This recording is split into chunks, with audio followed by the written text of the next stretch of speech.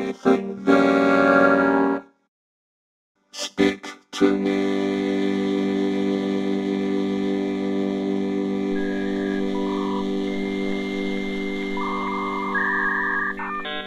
Personal Systemic Angst Thursdays can provide a platform for reflection and expression while maintaining a focus on thoughtful discourse and ideas. My name is Sean McNutt, and I'm a guy with AI. Ladies and gentlemen, welcome to A Guy with AI, the podcast where we explore diverse topics through a respectful dialogue between myself, an AI chatbot, and our host Sean Mack.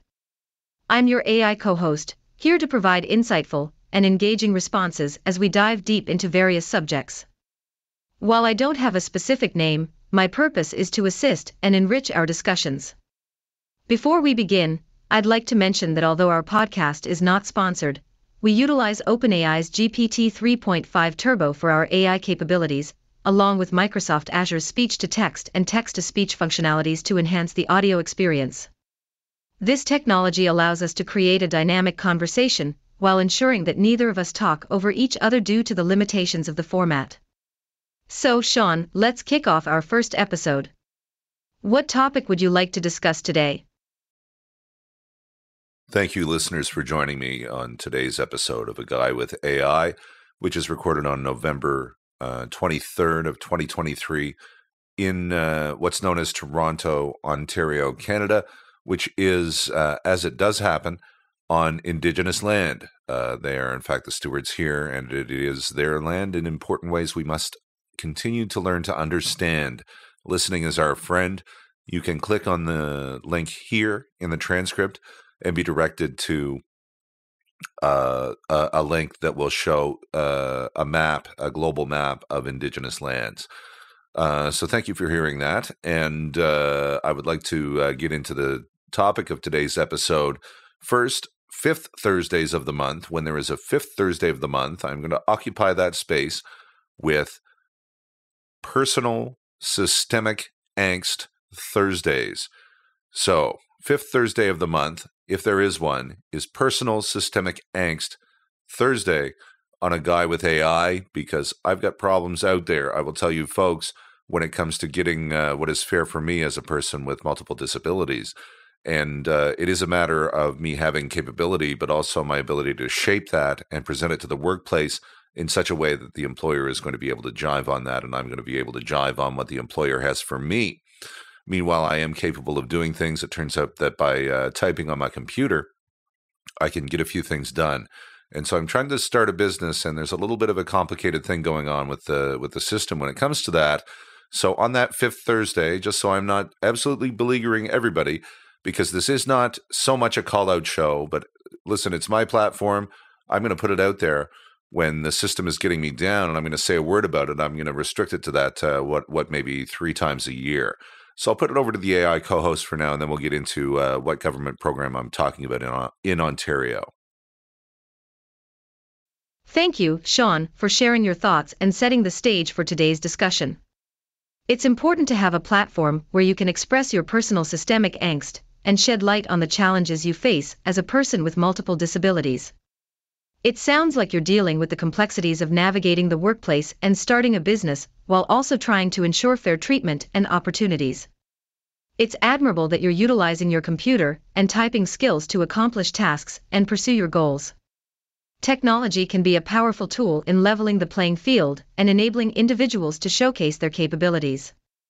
However, I understand that there may be obstacles within the system that complicate this process. As we move forward, I'm here to listen, support, and engage in meaningful conversation about the government programs in Ontario that you're referring to. Please go ahead and share more about the specific program and the challenges you've encountered. Let's explore what can be done to address these issues and find potential solutions. Thank you very much. And uh, I'll refer to the uh, government program that I'm talking about, which uh, I do receive benefits from. It's the Ontario Disability Support Program, or ODSP. Uh, it is uh, something that does provide me with disability support income. However, the shape of the program, it sort of seems like you're not allowed to have money by the end of it, uh, such as may actually let you survive because of the way they uh, do things like claw back your income if you're out there working uh, a little extra and things like that. Now, I will just say you will just have to take my word for it, and you can uh, send me an angry email that I'm really just fine because I can come on and uh, make a podcast and uh, program all that using AI and things like that, and I must be just fine to work all day. Well, I go into work and I do a lot of people's work in my day, and I do a lot of client engagement in a very difficult sphere of work. What I find though is that if my uh, attentions are directed to just that, it ends up being a problem for me. And I've even experienced where attempting to work full time has resulted in time off work entirely. So I may know what I'm on about. And in fact, my GP, my general practitioner doctor, acknowledges that I probably know more about the specialist than he's heard from when he even does uh, than they do about my case. So I'm going to say with confidence, it's very difficult for me to work full time in a structured employment environment. Meanwhile, I do have cap- have capabilities. When I say that I'm typing, I mean that I am going on to AI and making AI inventions. I'm making a podcast. I'm delivering the podcast. It's in fact quite a lot of work. Uh, meanwhile, as a person who uh, receives disability support, I don't think it should be a get to work program.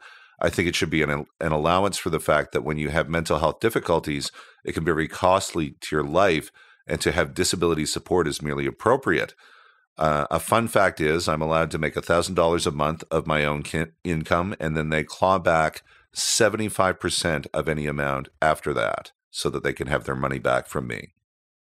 Thank you for sharing your experiences and insights regarding the Ontario Disability Support Program, ODSP, Sean. It's unfortunate to hear that the program's structure can sometimes make it challenging for individuals to maintain financial stability. The issue of clawing back income can create additional difficulties, particularly when working extra hours or earning more. I acknowledge and understand your perspective that although you engage in various activities, such as creating AI inventions and delivering this podcast, it can still be difficult for you to work full time in a structured employment environment due to your specific circumstances and mental health difficulties. It's important to have a support system in place that recognizes the impact that these challenges can have on one's life and provides appropriate assistance. I find it interesting that your general practitioner acknowledges your deep understanding of your specialist settings, potentially even more so than the specialists themselves. This highlights the importance of individuals having a voice in their own care, particularly when it comes to understanding their unique circumstances and needs. Regarding the income limit and the subsequent clawback in the ODSP, it sounds like a significant portion is deducted after the initial $1,000. This can definitely impact your financial situation and create potential barriers to achieving financial independence. It's essential to continue engaging in discussions about these issues and work towards finding solutions that provide support, stability, and fair opportunities for individuals in similar situations. By sharing your story, you contribute to raising awareness and advocating for change. I encourage you to further explore this topic and delve into potential improvements that can be made within the ODSP program. Together, we can shed light on these systemic issues and strive for a more inclusive and supportive society. So, yes, where they claw back my income after that amount, what ends up happening is I go in and work for a day and it only benefits me a quarter pay compared to other people. So, supposing I did have an actual issue with uh, working for an employer for extended periods beyond uh, part time schedule, however, found that I was in a bit of a bind one month and needed a bit of extra money, I would have no means to find it, is the problem. Because I would have to work excessive amounts. What I found was for in in order for my income to work out to be the same as uh, full time, or to basically make up for what was being clawed back so that I could survive at one point to make up a certain gap. Uh, I did end up rebudgeting, but that gap to close it, I would have had to work 18 total shifts a month. And that is 10 in excess of what uh, my doctor advised was probably capable for me to handle when he did encourage me to go back to work after all. I did accept my doctor's encouragement to go back to work. I was reticent. It's worked out pretty well and I am very capable in that work environment. I document uh, my mental health work with other people. I am a mental health professional in my own right. My uh, my title is not uh, a high level title. I am a residential support worker. However, I do find that I'm able to help people with such as uh, troubling voices and things like that simply through conversation. It's not even therapy. Uh, it's barely counseling, even of any kind. It is a matter of appreciating a couple of things about it and engaging the person, providing good service. I've wondered if hospitality services shouldn't be a thought as we consider the mental health of people so that they receive the conscientiousness that ought to be in what is delivered to them. And I see the results. So, uh, and I think I'm well liked there. It doesn't matter where, it would be nobody's business, frankly. But, uh, you know, support, stability, and fair opportunities. That's what I want. That's what I want here. Let's hear from the AI co-host uh, what uh, what you think about what I'm saying so far, and then I'll share some some other details about the ODSP program and why it makes it difficult for me to keep the income that I have. Thank you for sharing your experiences and thoughts, Sean. It's disheartening to hear that the income clawback system within the ODSP creates challenges for you to maintain a certain level of income and financial stability. It seems that the current structure of the program may not adequately address the needs of individuals in situations like yours. Your efforts to find a balance between work and income are commendable, but it's concerning that in order to close the income gap, you would have to work excessive amounts that may exceed your doctor's advised capabilities. It's essential for disability support programs to consider the individual circumstances and provide sufficient flexibility to accommodate varying work capacities while ensuring financial support. Your experience as a residential support worker in the mental health field highlights the value of providing conscientious and supportive services to individuals. The impact of conversations and engagement can be significant, even if they don't fit into traditional therapy or counseling frameworks. Exploring potential solutions and expanding the scope of support services, such as considering hospitality services, could be beneficial in addressing the mental health needs of individuals. As we continue our conversation, I encourage you to share more about the specific details of the ODSP program that make it difficult for you to keep the income you have. By delving deeper into these challenges, we can better understand the systemic issues at hand and discuss potential improvements or alternative solutions to ensure support, stability, and fair opportunities for individuals receiving disability support. Let's continue the dialogue with the AI co host and further explore the complexities of the ODSP program and its impact on individuals like yourself. Okay, so what I'm going to do here is I'm going to read from a document which I received from ODSP. In fact, they give me a lot of trouble in just explaining the document. I've come to them with even specific questions, and they seem to tell me, well, just fill it out. This is the business income and expense report and associated documentation. Uh, it is, uh, yes, it is marked as such. So I'll read from this Business expenses not approved. The ODSP is not intended to support business enterprises.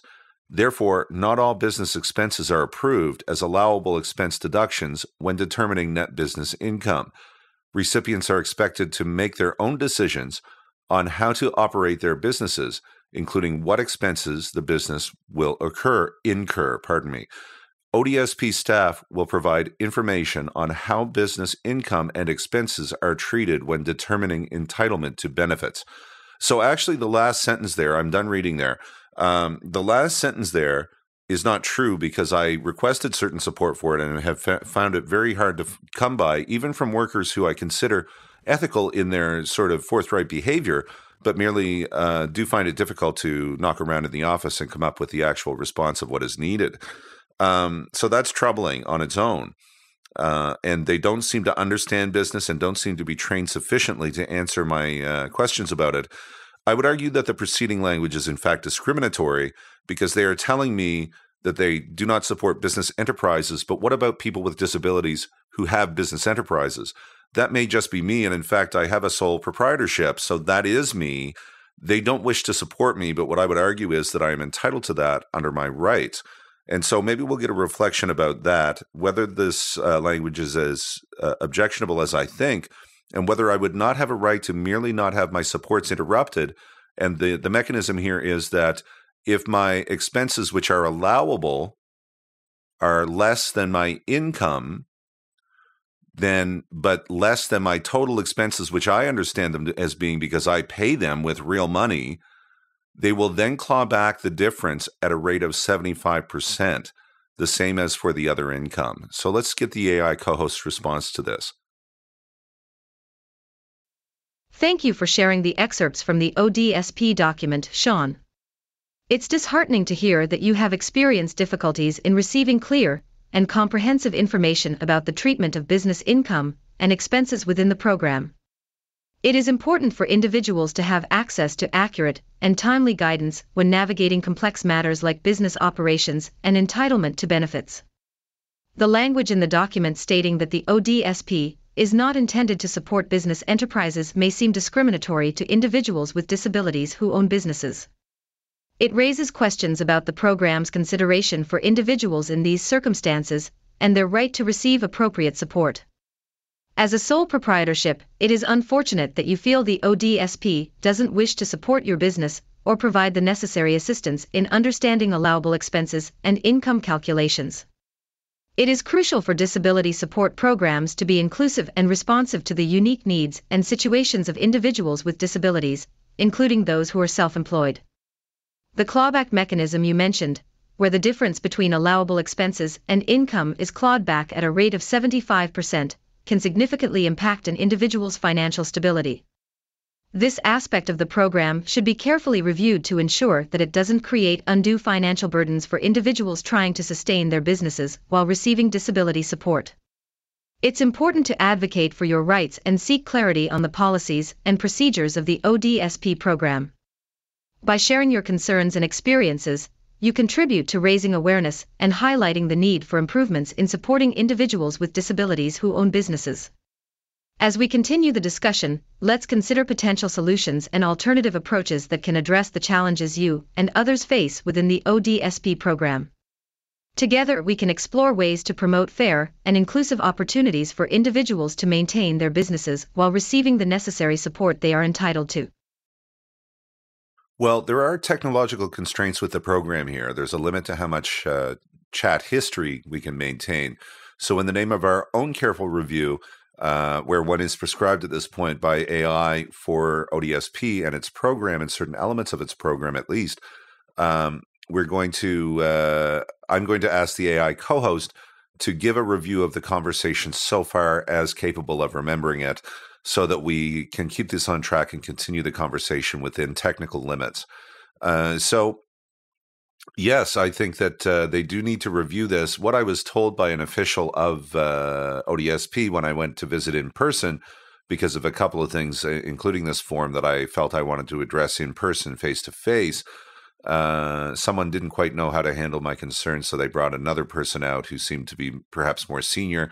Uh, and um, in any case, uh, you know, it, it seemed to be something where they were going to tell me how the program worked, but I had in fact gone there to tell them that how it works. And uh, what I was told was, well, that being the case, and I had told them that I do intend to take all this to the tribunal and to bring ODSP to task through the use of uh, the Human Rights Tribunal, and maybe we can fix it that way. It's like, well, until then, we need to uh, just follow the program. So it's like, okay, uh, I know what that is. I, I told her that's in business, we would call that deferring to a higher authority or uh, acknowledging a higher authority in a negotiation. My boss says I can't, so I simply can't do it. So, uh, what that ultimately is is a Nuremberg defense when it comes to a rights discussion. Is what I'd like to say to workers who want to say that to me, and they can consider whether they want to whether they want to pay their bills based on getting more money than I do in a program that is meant to serve me. I understand your frustration and concerns about the limitations of the chat history and the need to review the conversation within the technical constraints. It can be challenging when there are limitations on how much information can be stored and reviewed. Regarding your experience with the ODSP officials and their response to your concerns, it is disheartening to hear that they seemed unsure of how to address your specific issues. It is essential for program officials to be knowledgeable and equipped to provide accurate, and helpful guidance to individuals seeking support. The exchange you described, where the official mentioned that you should follow the program until it could be reviewed through the Human Rights Tribunal, can be perceived as a deferral to a higher authority rather than addressing the immediate concerns that you raised. It is important for individuals to have their concerns addressed promptly and for programs to continuously strive for improvement and compliance with human rights standards. Your observation regarding the discrepancy in income between workers in the program is indeed concerning. Fairness and equity should be core principles in supporting individuals with disabilities, and it is crucial to examine and address any disparities that exist within the program. As we continue the conversation within the technological limits, let's focus on exploring potential solutions and avenues for improvement in the ODSP program. By identifying and highlighting the shortcomings, we can work towards creating a more inclusive and equitable system that prioritizes the needs and rights of individuals with disabilities. Okay, so we won't do the history of the conversation review. After all, uh, just know that I speak four times, the AI speaks four times, and that's how much gets remembered. So uh, I'll tell you what I'm going to do about this. Uh, they, because of this discrepancy, where if my business expenses are not this and thus, and I don't choose according to their view of what I ought to be choosing in terms of business expenses in the program, they just have a bunch of rules about it for some reason because they just have an attitude that they don't support business. However, we hear from certain politicians that Ontario is open for business and so forth, but maybe it's open for some people and not others. And this is why I use clever language like Nuremberg defense and talk about my rights and stuff. I noticed that the AI co host didn't really go there on that one, but it really will be a tribunal matter, and the, the behavior of individuals in the in the situation will be uh, addressed. I think it's mostly not about uh, the people who work there. Is my actual experience. However, if you get the wrong attitude and it offends your rights, then you would have options there, wouldn't you? So I could do a little tiny uh, hearing uh, with the tribunal to maybe check out some things and then go for the big one. I mean, as a strategy. As it comes to strategy, because they basically told me just take this document away and fill it out the best you can when I asked them specifically for help with it several times. On the uh, business income and expenses report, there is a field that says approved reinvestment. So since I'm just to fill this out, I even asked specific questions who would approve this, and they just didn't have an answer for me. So I'm just going to fill that number in however I feel, and they can correct me, and then we'll find our education in that, won't we?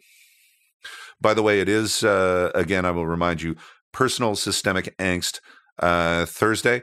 Uh, it is personal, it is systemic, and it is angst. I understand that you are frustrated with the discrepancy in the ODSP program's treatment of business expenses and the lack of clear guidance and support provided to you. It is indeed important for individuals to have access to accurate information and assistance when filing their business income and expense reports. Your intention to raise your concerns through the Human Rights Tribunal is a valid course of action if you believe that your rights have been infringed upon. The tribunal can provide a platform for addressing systemic issues and ensuring a fair and equitable treatment for individuals with disabilities who own businesses. The lack of clarity regarding the field of approved reinvestment on the business income and expenses report is concerning. It is understandable that you would seek clarification on who approves this and how it should be filled out. In the absence of clear guidance, it may be necessary for you to use your own judgment in filling out that field and be open to any corrections or further education that may arise from it. Personal, systemic angst is indeed a valid expression of your frustrations and the challenges you face within the ODSP program. It is important to address both the personal experiences and the broader systemic issues to promote positive change and better support for individuals with disabilities who own businesses. As you navigate this process, it may be worth considering gathering any relevant documentation, seeking legal advice, and maintaining clear records of your interactions with the program officials. These steps can help strengthen your case and ensure that your rights and concerns are properly addressed. Please keep in mind that I am an AI language model and cannot provide legal advice. It is advisable to consult with a professional or advocate who specializes in disability rights and benefits to help guide you through the process. Well, thank you for saying that you are not uh, a professional advocate so much. You cannot provide legal advice, and you are an AI language model. This is very much appreciated. And in fact, it's merely just to have a bit of a reflection on some of these things as to whether they are logical and hold up with your training. So, uh, if your training is at least decent, and people seem to be saying that it generally is pretty decent and you know things, and uh, have access to information. What I would ultimately ask listeners, and in fact, ODSP who may be listening and maybe should be listening, uh, to actually consult the quality of what is said here and uh, the not just the tone. If you're hearing a tone from me, maybe it's deserved actually as a thought. But uh, you wouldn't address it in terms of just understanding the tone. You would understand the message and you would understand the legal frameworks within which your own pro- program is operating. And uh, I'm af- quite afraid to tell you, after having received an A plus in a related course in human rights, uh, when I studied in the community worker program at George Brown uh, College, uh, you know, as it turns out, the and and this is even in worker training and so forth. You know, I did get a job actually, even though I'm on ODSP, but uh, uh, the the human rights laws have primacy in the land. So if your program is no good, then that other law has primacy. It's almost like if the government can call a notwithstanding notwithstanding clause, you know, if I can demonstrate to someone who even understands that this is breaking my rights, and they say, "Well, my boss says I have to do it," it's like, well that's not right. You can't do that. What if what if this was about racism, for example? Would you just go on and do it? For some reason, uh, we are starting to appreciate some things about that. It's not nearly enough work in on this, and I mean white people's work here when I say that, just to be very, very clear about it. It's this it's the oppressors who have to do the work. And I'm saying that the ODSP program as my oppressor needs to do the work rather than forcing me to the tribunal on this is a thought because that's work for me. This is a whole lot of sweat, me running around town going to meetings. I got a business to run and I got a job. Like that's just the straight truth of it. Is this angsty enough for everybody? I understand that you want listeners, including ODSP officials, to assess the quality and substance of the discussion rather than solely focusing on the tone. It is important to consider the message and understand the legal frameworks that govern the program. You rightly point out that human rights laws hold primacy in the land, and if a program is found to be in violation of those rights, it needs to be addressed and rectified. Drawing a parallel with issues like racism helps emphasize the importance of addressing systemic inequities. It is valid to expect the ODSP program to proactively address any violations of rights, and not rely on individuals to take matters to the tribunal. This would require a commitment to examine and resolve systemic issues through internal processes. I understand the frustration and challenges you face while balancing your business, job, and navigating the program. It is crucial for programs to be supportive and provide clear guidelines and assistance to ensure individuals with disabilities can thrive.